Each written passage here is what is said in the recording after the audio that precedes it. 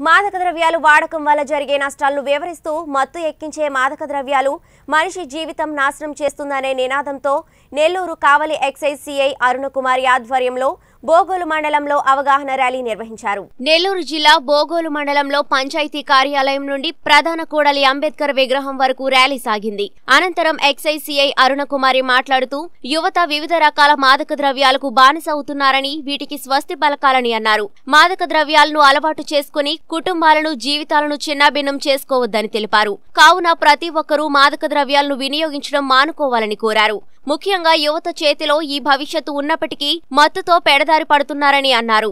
విద్యార్థి దశలో మత్తుకు అలవాటు పడితే వాళ్ళ భవిష్యత్తు నాశనమవుతుందని తెలిపారు. ఈ కార్యక్రమంలో excise CI Arunakumari SI Sivaprasad ASI Ramaraju తదితరులు పాల్గొన్నారు. యువత ఎటువంటి చెడు వ్యసనాలకు లోనయ్యి వాళ్ళ యొక్క ఆరోగ్యాన్ని వాళ్ళ యొక్క జీవితాన్ని ఎలా నాశనం చేసుకుంటున్నారో అటువంటి వాటిపై అవగాహన కల్పించేందుకు సివిల్ పోలీసులతో కలిసి స్పెషల్ ఎన్ఫోర్స్మెంట్ బ్యూరో టీమ్గా మేము కావలి నుంచి ప్లస్ మహిళా పోలీసులు వాలంటీర్లతోటి బోగోల్లో ఈ యొక్క ర్యాలీ అవగాహన ర్యాలీ నిర్వహించడం జరుగుతుంది. ఇందులో భాగంగా పబ్లిక్ అవగాహన కార్యక్రమాన్ని ఈ యొక్క మాదక ద్రవ్యాల వల్ల వచ్చే ఇబ్బందులు ఎఫెక్ట్స్ మీద వాళ్ళ యొక్క పబ్లిక్ అవగాహన కల్పిస్తాము. ఎక్కించే మాదక ద్రవ్యం అక్రమంగా సాగుతున్న